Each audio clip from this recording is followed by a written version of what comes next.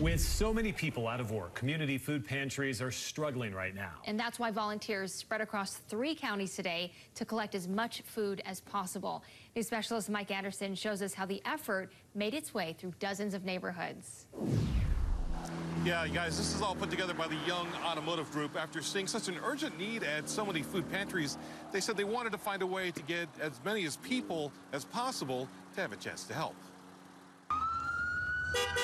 There's no candy at this parade. Rather, these folks are taking bags of food. Just realize there is a tremendous need right now. Tammy Olson, director of Young Caring for Our Young Foundation, says they wanted to reach out to as many communities as possible after realizing food pantries around Utah are struggling through this pandemic. We came back and said, you know, what else can we do to involve our employees in something really positive and uplifting, but to make a big difference in the community? A little bit of it is for show. Families encouraged to watch from a distance.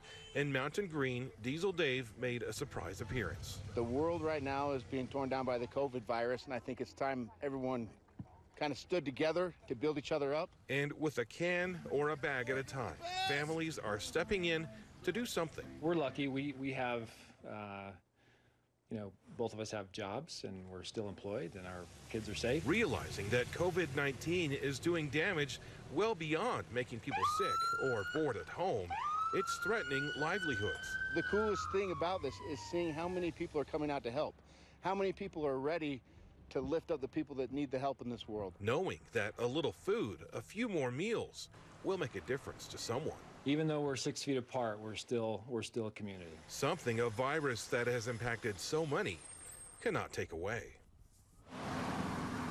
And the food today from eight different parades will go to the uh, Catholic Community Services and Morgan and Bountiful food pantries. Back to you. Yeah, nice story, Mike. We have some great people in this state. Thank you.